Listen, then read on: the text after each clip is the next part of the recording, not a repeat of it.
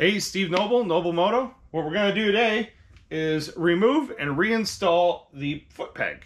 Uh, maybe you're putting custom ones on, maybe yours are screwed up, maybe whatever. I'm going to show you how to take this thing off and put it back on.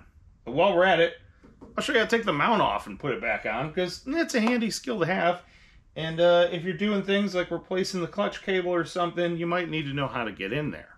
So let's move in for a closer look. To remove the left side foot peg mount, you have two Allen screws here. They each take a 5 16 Allen wrench. I have an Allen socket in place of an Allen wrench. Uh, it's just a lot handier and a lot stronger. Wait a minute. There we go. You don't actually need an extension this long. I'm just doing this so I can get my hands out of the camera shot. Lefty loosey that one free hop on over the other side. Lefty loosey that one free. Full disclosure, I broke both these bolts free before I did this, before I hit record. So, saves a lot of grief. So hold your foot peg up a little bit. Lefty loosey that bolt all the way on out of there. Then, lefty loosey the other one all the way on out of there. Probably blocking all light there, aren't I? Alright.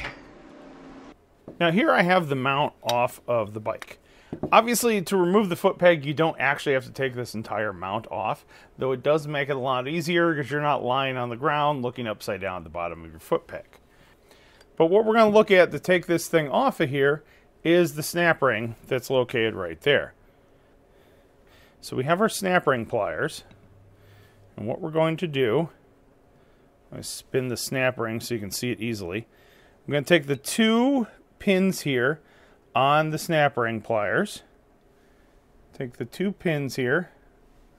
Hopefully this lighting's okay.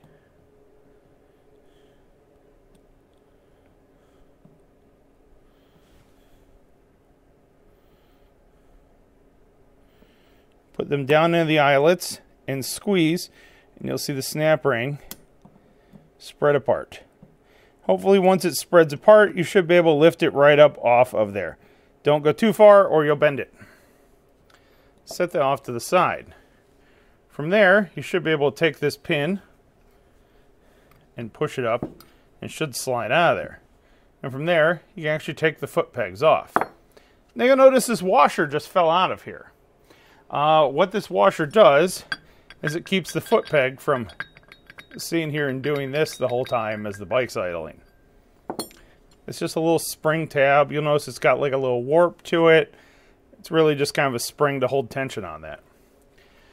So to reinstall your new foot peg, I would recommend sliding this thing in there first. And it goes in it goes in squared off in first. Slide it right up in there. Then you can take your new foot peg and slide that in place. You should be able to look down inside there and see everything's lined up.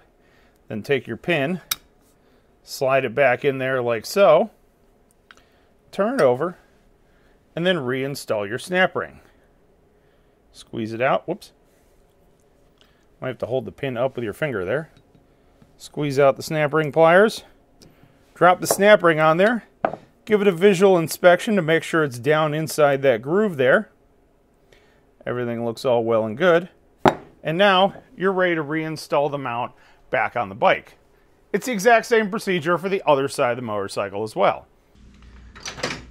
I'm gonna take my size is this? Can't see it. 5 16 Allen socket, or 8 millimeters if that's all you have. And spin the bolts in there.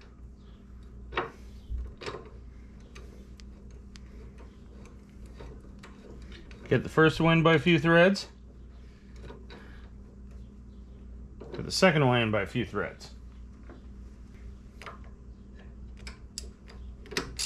Then run them all the way in there.